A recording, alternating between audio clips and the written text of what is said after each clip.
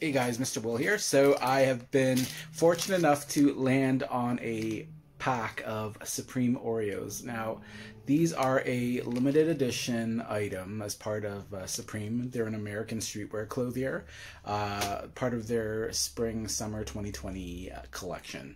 Now, uh, in this pack, uh, you get three Oreos. You can order these off their website, but uh, they have been known to sell on the secondary market from anywhere between twenty thousand dollars US to even ninety thousand dollars on eBay. But um, you can find these now on the secondary market, probably about thirty dollars a pack. Um, so let's take a look at these. These are just a three pack of Supreme Oreos. They are red in color, donning the Supreme logo. We're going to open it up in a second. We're going to just see exactly uh, what it looks like. I'm kind of excited. I'm kind of torn actually because, you know, it's such a rare item to find. I'm like, if I don't need it, I'm going to be wondering what the heck they taste like all this time.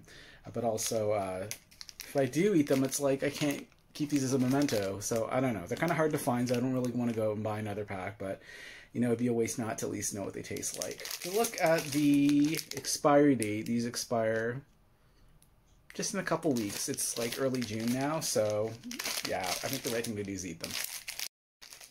All right, so we're opening them up.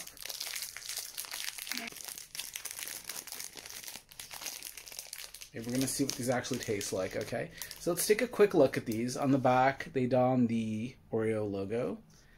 And then on the other side, they have the Supreme logo. The inside, it's a standard uh, sandwich cream. The outside's red in color. Uh, but I have a feeling these probably just taste like regular Oreos. I know Oreo did have a red velvet limited edition a while back, but I haven't seen those around in a while. Those are super delicious, by the way. So we're gonna take a bite and see what these are like. Okay, here goes. So again, on their website, these retail for about eight dollars a pack. So this is about three dollars an Oreo. Secondary market, seeing that they're about thirty dollars Canadian for a pack of these now. So this is about ten dollars worth of Oreo right here. All right, here goes.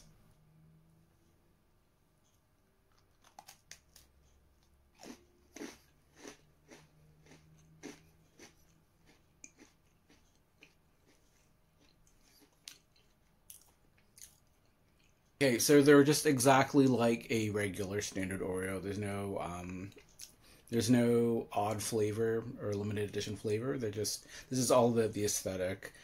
I guess, and the uh, the prestige of knowing that you've had something with affiliated with this uh, American clothier. And that's it. Basic Oreos, cool design, limited edition item. I can say I've done it. I've had it now, and I can go on with my life. So there's two more Oreos left in this. I'm gonna savor these. Uh, it's about twenty dollars worth of Oreos, so I'm gonna make these last as long as I can.